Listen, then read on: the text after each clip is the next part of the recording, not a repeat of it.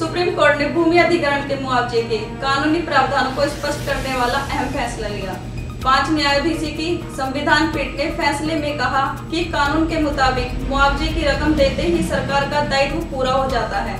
अगर कोई भूस्वामी मुआवजा लेने से इनकार करता है तो वो मुआवजा न मिलने के आधार पर भूमि अधिग्रहण रद्द किए जाने का दावा नहीं कर सकता। कोर्ट ने कहा कि कानून में मुआवजा दिए जाने का मतलब यह नहीं है कि मुआवजे की रकम कोर्ट में जमा कराई गई है।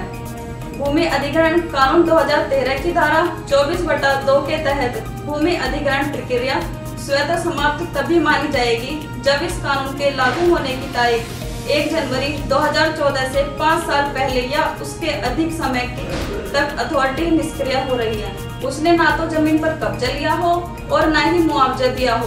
कोर्ट ने साफ़ किया कि अगर मुआवजा दे दिया गया है, लेकिन ज़मीन पर कब्जा नहीं लिया गया। और ज़मीन पर कब्जा ले लिया है, लेकिन मुआवजा नहीं दिया गया। उन मामलों में अधिग्रहण स्वतः समाप्त नहीं होगी। कोर्ट के इस फैसलों से सरकारों को बड़ी राहत मिली है। अभी के लिए इतना ही। आगे खबरों के लिए बने रहिए हबड़ हलचल के साथ।